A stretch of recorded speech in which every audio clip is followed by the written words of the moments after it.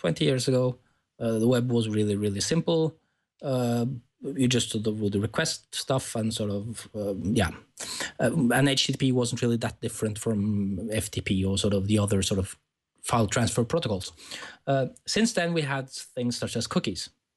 So cookies, of course, is one is very, is very very wary of cookies. It uh, it can sort of uh, if a client sort of requests something and the client has a cookie, Varnish has no way to actually know if that cookie is just something that's there by accident or if the outcome of the uh, request that it previously has cached as a response mm-hmm.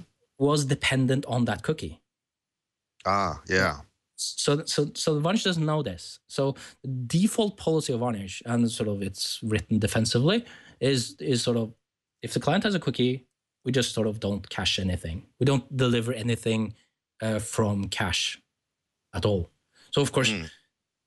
th- th- there's probably isn't a, a, sort of a web domain uh, that doesn't have any sort of cookies associated to, to it. So even though it's a, the, the, the, the, the web server doesn't actually need the cookies at all because, I mean, you have these uh, Google Analytics cookies those sort of show up everywhere. They're not really needed for anything that sort of the uh, the, the the backend web server does.